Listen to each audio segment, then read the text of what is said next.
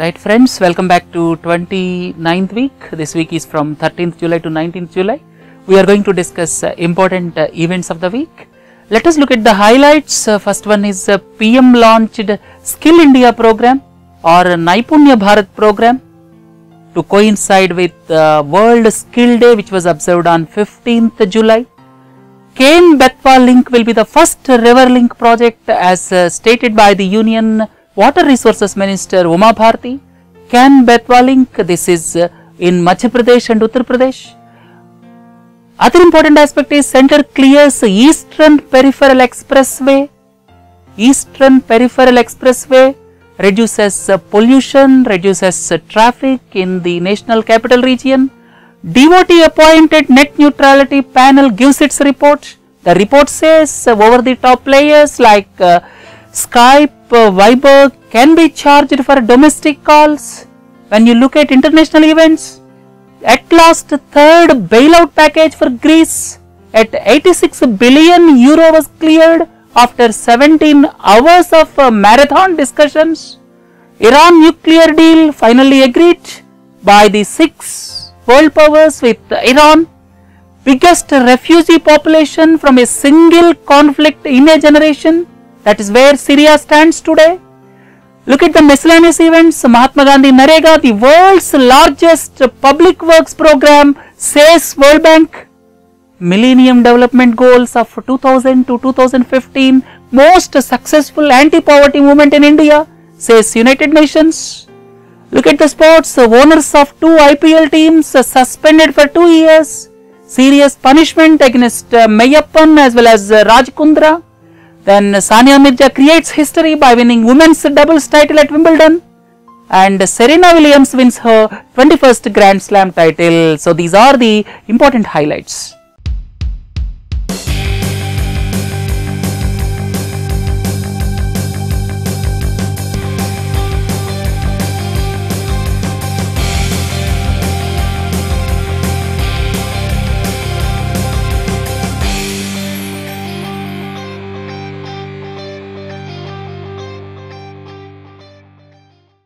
Right friends, look at the first and the foremost event. The Prime Minister launched a Skill India program or otherwise the Naipunya Bharat program.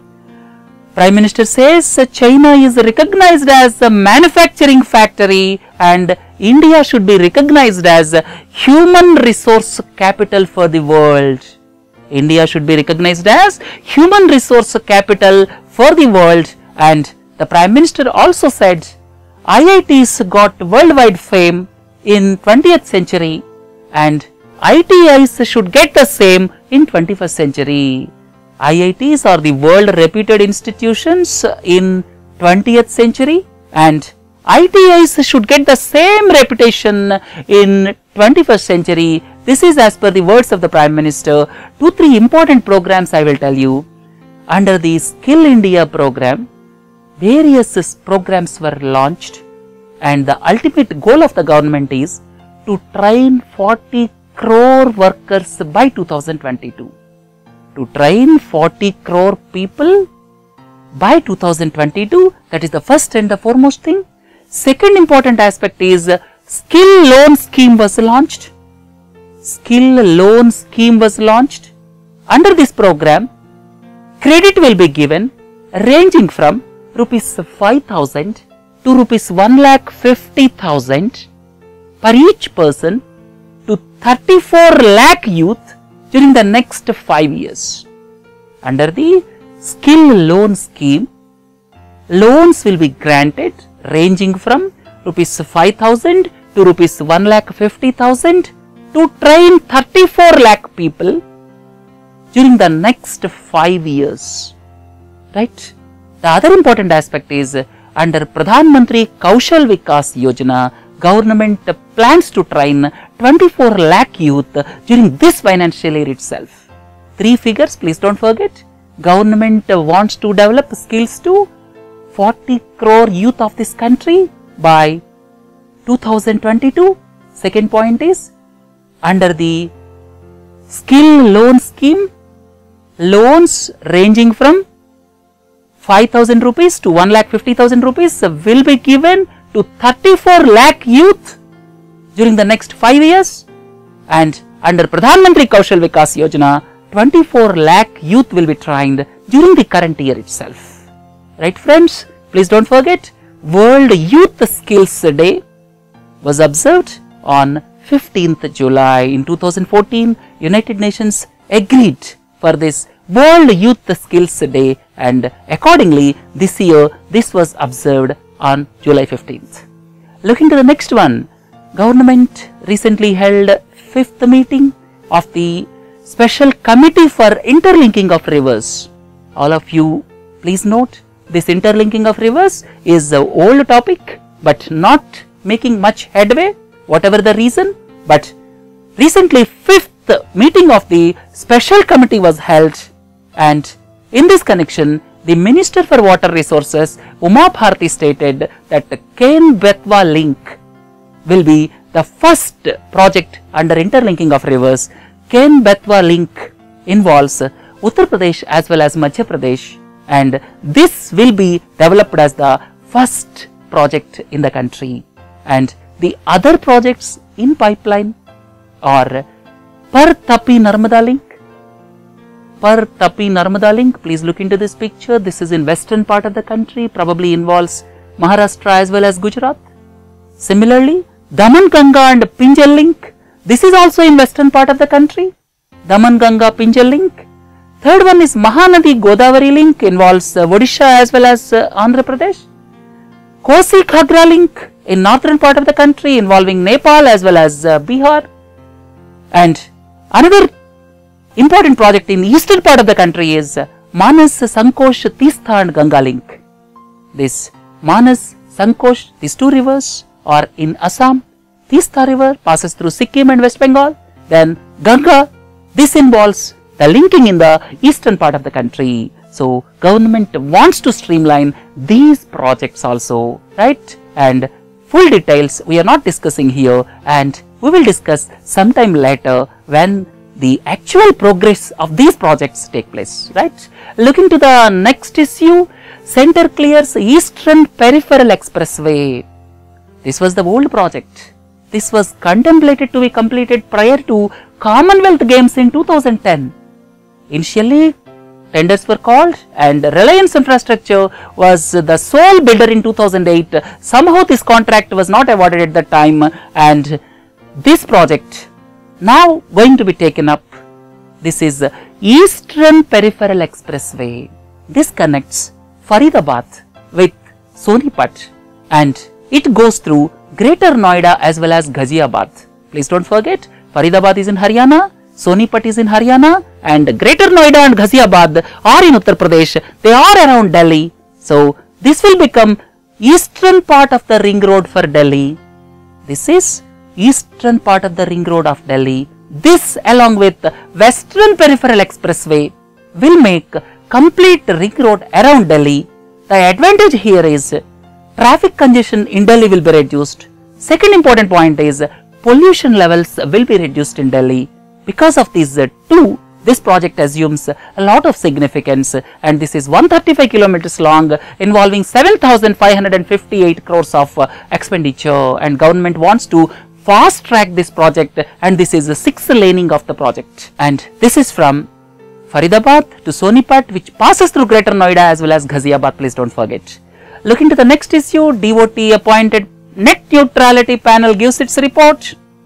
Net neutrality panel was appointed by the Department of Telecommunications.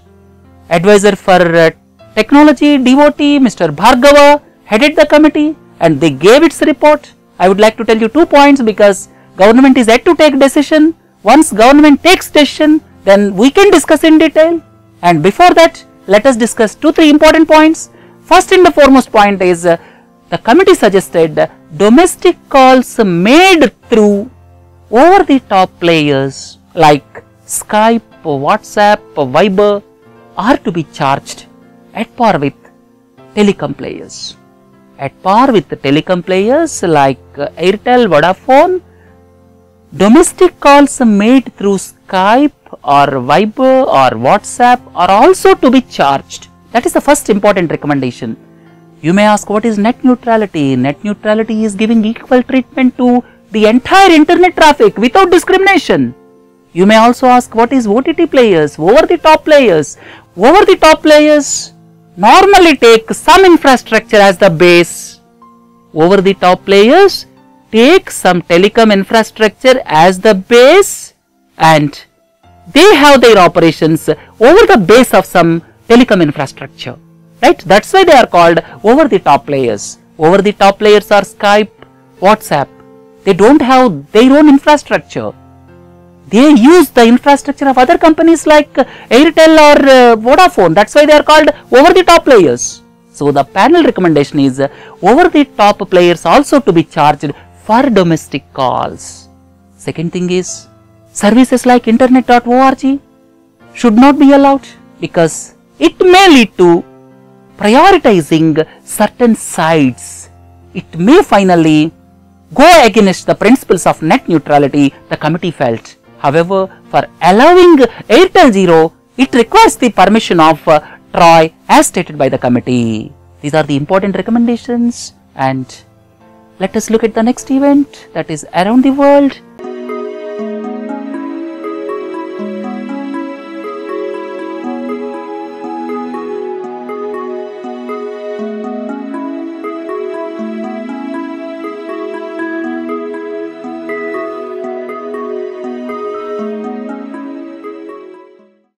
First and the foremost, of course, the Greece crisis.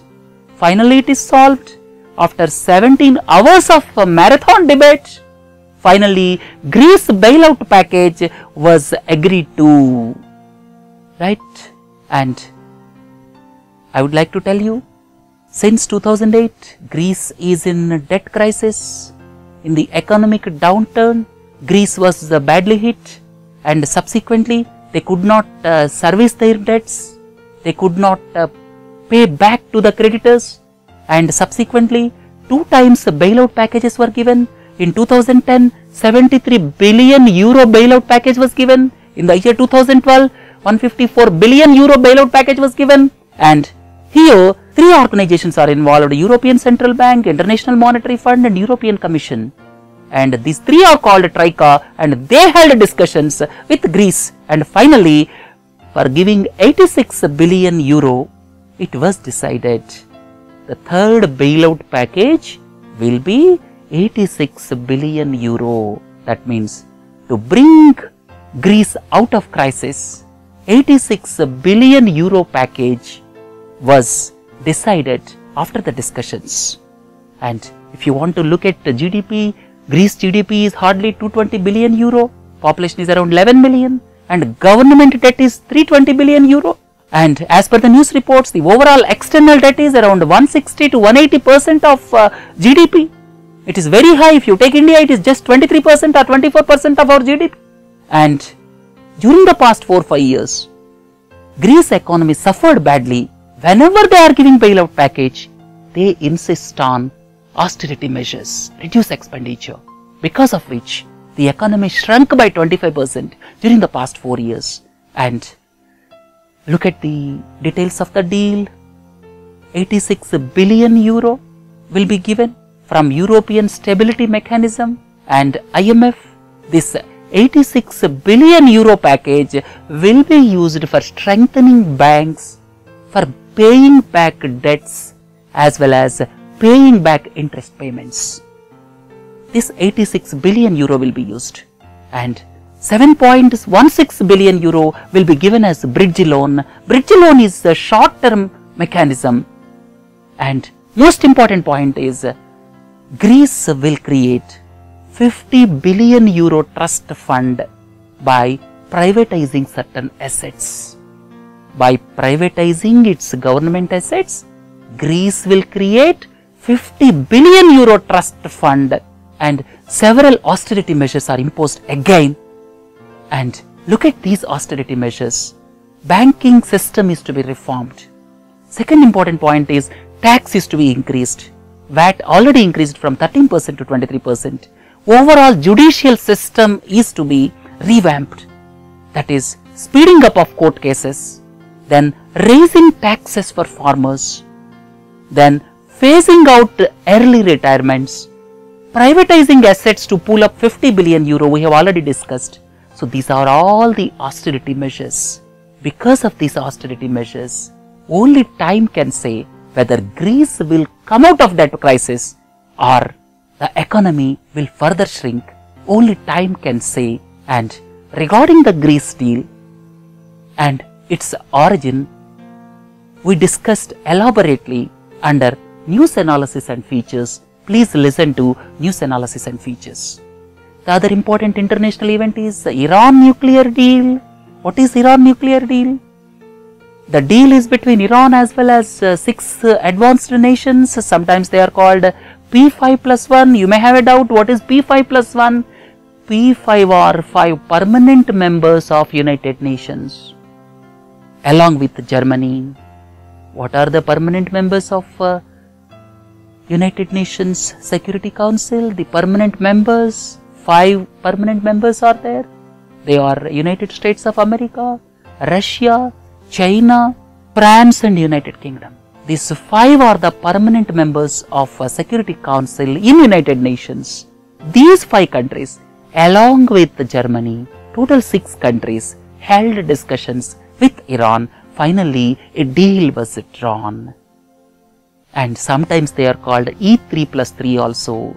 Three countries of European Union that is France, Germany and United Kingdom and other three countries they are Russia, United States of America and China, right? So, why this deal is required? We are going to discuss in detail 30th week's news analysis part, but I would like to explain what exactly is this deal in this lecture part. Advanced nations for the past several years are contemplating that Iran is building nuclear weapons right? Because of that contention, economic sanctions were imposed in the year 2006. Economic sanctions were imposed against Iran during the year 2006 and for the past 12 years talks are going on between these six advanced nations and Iran. Talks are going on for the past 12 years and finally it was agreed and the salient features are Iran agreed to get rid of 98% of its stockpile of enriched uranium. What is enriched uranium? I would like to tell you normal uranium contains around 0.7% of U-235. Normal natural uranium contains 0.7% of U-235. Increasing the content of U-235 is enrichment of uranium. Increasing the percentage of U-235 in natural uranium is enrichment of uranium and for enrichment of uranium centrifuges will be used. We are going to discuss in detail during the news analysis part of 30th week but I would like to explain in brief. First point, enriched uranium. Enriched uranium can be used for making nuclear bombs. Enriched uranium can be used for making nuclear bombs and Iran will get rid of uh, 98% of its uh, enriched uranium. Second important point is the centrifuges. I have already told you centrifuges are used for enriching uranium. So centrifuges will be reduced from 19,000 to 6,000.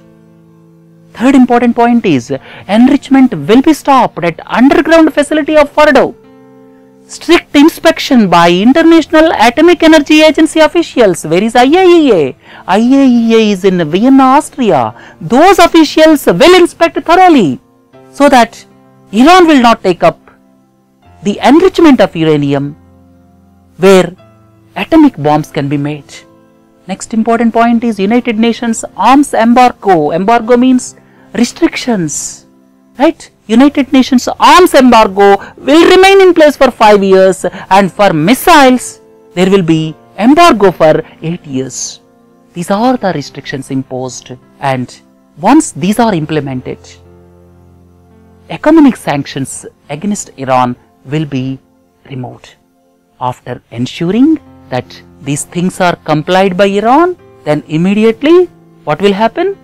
Economic sanctions against Iran will be removed. That means Iran can export oil. It can come into the mainstream politics economically, not only economically, geopolitically also, it can become a force to reckon with in Middle East. Right? And what the critics will say? The critics says that it may lead to proliferation of arms in Middle East. Second is, it may give space for Iran to make a nuclear bomb. It may lead to unrest in the Middle East, which is already into problems. Fourth point is, some critics say that it will checkmate ISIS. Right? Whatever it is, Israel and Saudi Arabia are not happy with the developments. And for the detailed discussion, next week, listen to news analysis and features. Next important issue, biggest refugee population from a single conflict in a generation. All of you are well aware, Syria is into civil strife, several warring factions within the country, Free Syrian Army, ISIS, government on the other side, civil war is going on inside the country and now the United Nations organization, United Nations High Commissioner for Refugees, you may ask where are the headquarters of United Nations High Commissioner for Refugees? United Nations High Commissioner for Refugees is based in Geneva, Switzerland. And the organization says Syria appears to be one of the worst ever human tragedies. Conflict started in the year 2011. In the year 2011, Syria population was 23 million. Now it is 19 million. It reduced from 23 million to 19 million. 4 million people escaped from the country and they are staying as refugees in the adjacent countries. Turkey has 1.8 million refugees. The unfortunate aspect is 86% of refugees in Jordan are living below poverty line. What will happen when refugees are staying in other countries? Normally when the people escape their country, when they are staying in other countries, they are called refugees. And minimum civic amenities, education, health, these are all the basic problems associated with refugee camps and 86% of refugees in Jordan are living below poverty line and 4 million people are staying as refugees in adjacent countries like Turkey, Lebanon and Jordan. Not only that, more than 7 million people are internally displaced. 7 million people internally displaced. 4 million people as refugees. So total 11 million people are affected out of 23 million people. That means the Syrian civil war affected around 50% of the population. That's why it's going to be one of the worst ever tragedies in the world. And 5.5 billion dollars is the money needed to help Syrian refugees. Right. Let us hope for some better sense to prevail. Right friends, look at the next miscellaneous.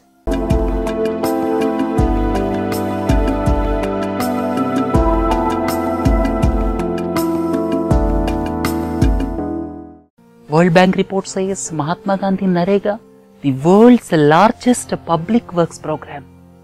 Mahatma Gandhi Narega is the world's largest public works program. They told three things. I would like to tell you three important points as per the World Bank report. First is Mahatma Gandhi Narega is the world's largest public works program providing social security net to 15% of the country's population. 15% of the country's population. Second important aspect is midday meal program is the biggest school feeding program and 105 million people are getting the benefits. More than 10 crore people, basically students, more than 10 crore students are the beneficiaries of midday meal program. Third thing is Janani Suraksha Yojana, which was started in the year 2005. Janani Suraksha Yojana to improve the institutional delivery of babies. To improve the institutional delivery of babies, that's why to prevent maternal mortality as well as neonatal deaths and this program is reaching 78 million beneficiaries or roughly 8 crore people and these three programs are applauded by the World Bank. Mahatma Gandhi Narega, Midday Meal Scheme, Janani Suraksha Yojana. Right? Look into the next aspect. Millennium Development Goals, most successful anti-poverty movement says the United Nations. Eight Millennium Development Goals were set by United Nations in the year 2000. Please look into this slide. What are the Millennium Development Goals? And they are to be implemented by 2015. Right? And the important aspects as told by the report of the United Nations says it is the most successful anti-poverty movement in the history. That is first and foremost thing. Second important point is people living in extreme poverty reduced from 1.9 billion in 1990 to 836 million in 2015. Reduced from around 190 crores to around 83 crores.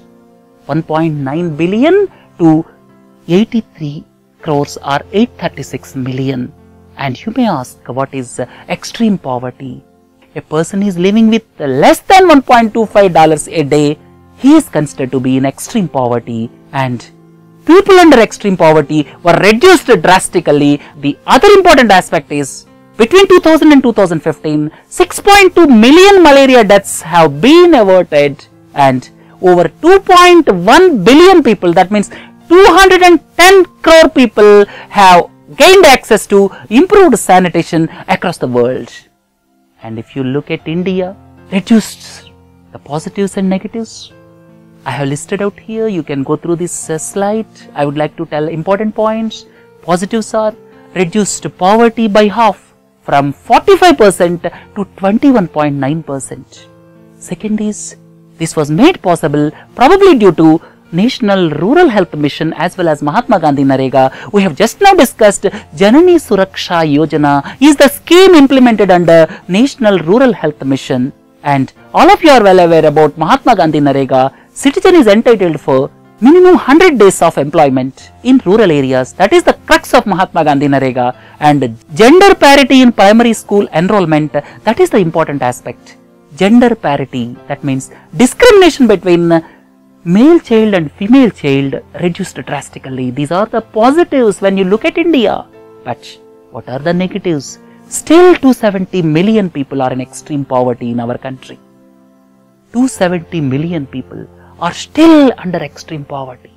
And India is home to one quarter of world's undernourished population one third of world's underweight children and one third of world's food insecure people. These are the negatives as far as India is concerned and positive points are extreme poverty reduced drastically, right?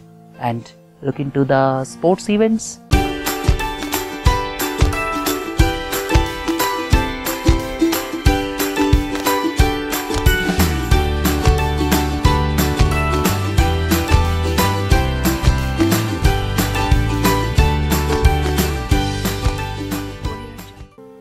owners of two IPL teams suspended for two years. All of you are uh, well aware that this is with regard to the betting, indulgence in betting in IPL 2013. Subsequently, Supreme Court appointed a panel headed by the former Chief Justice of the country, Justice R. M. Lodha. Other two members are Justice R. V. Ravindran as well as Justice Ashok Bhan. The committee gave its report and I would like to tell you two, three important points. So first and the foremost is uh, India Cements Limited as well as uh, Jaipur IPL Cricket Private Limited, India Cements Limited and Jaipur IPL Cricket Private Limited. These two were suspended from IPL for two years. They cannot undertake any cricket related activities for two years. Suspension was imposed for two years. IPL owned Chennai Super Kings when the betting took place and this Jaipur IPL Cricket Private Limited owns the Rajasthan Royals team and Supreme Court said the order given by this uh, committee headed by Justice R. M. Lodha will be final, will be binding on both the parties and please look into this important slide. The committee passed severe strictures against Gurunath Meiyappan as well as Raj Kundra. You may ask who is Gurunath Meiyappan? Gurunath Meiyappan is the son-in-law of N. Srinivasan, head of ICL which owned the Chennai Super Kings and Mr. Srinivasan was the former president of BCCI also and Gurunath Meiyappan because he participated in the betting, he was involved in betting, two strictures were passed and punishment was imposed during his lifetime he should not participate in any type of BCCI activities. throughout his lifetime, he should not participate in any type of cricket activities and suspended for participation in the sport of cricket for a maximum period of 5 years. Suspended for participation in sport of cricket for 5 years. A similar punishment was imposed against uh, Raj Kundra. Raj Kundra is the part owner of Rajasthan Royals team. Right? That means both of them are suspended, otherwise a life ban from being involved with the BCCI in any type of cricket matches. Right? And at the same time, they were suspended for participation in the sport of cricket for a maximum period of 5 years. Right friends, look at the last issue. Sania Mirza creates history by winning women's doubles title at Wimbledon. Sania Mirza and Martina Hingis won the women's doubles title at uh, Wimbledon. This is the first time an Indian winning the women's doubles title, right? And second important aspect is mixed doubles was won by Leander Paes of India and Martina Hingis of uh, Switzerland. Men's singles was won by Novak Djokovic and Serena Williams of United States of America won the women's singles. And please don't forget, this is her uh, 21st title, 21st Grand Slam title. You may ask, who is heading Margaret Court of Australia? So far won 24 titles and 22 titles were won by Steffi Graf and now Serena Williams won her 21st Grand Slam title. And please don't forget Serena Williams now became the oldest woman to win the Grand Slam title. Right? And with this let us conclude this week's important events. That is lecture part. Please do join for news analysis and features where we discussed Greek crisis or Greece crisis in detail. And please do join for questions and answers sessions of general as well as banking. Have a nice day. Thank you.